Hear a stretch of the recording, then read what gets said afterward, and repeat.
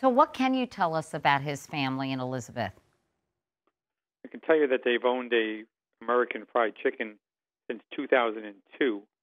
They were open for 24 hours when they first opened up.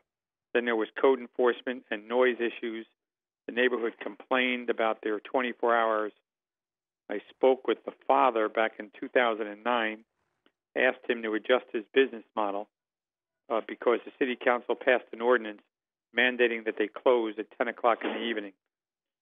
They chose not to change their business model and litigate the issue with the city of Elizabeth.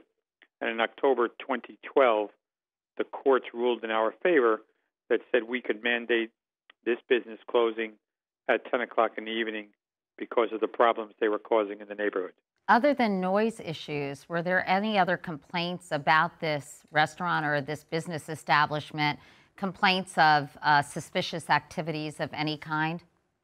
Just congregants hanging out in front of the place when they would drive up and try to get chicken orders at 2, 3 in the morning and the noise that was made. So, code enforcement issues. I'm sure there are some health records on cleanliness issues that we haven't had a chance to go through.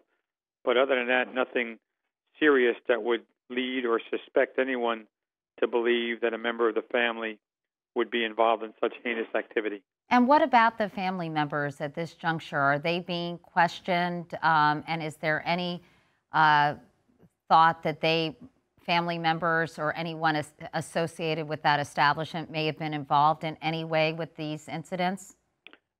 I don't think I, I know or law enforcement knows exactly where the family members are. When they decided to execute the search warrant early this morning, there was no one at the location, and only law enforcement have been going through the chicken restaurant and the residence upstairs.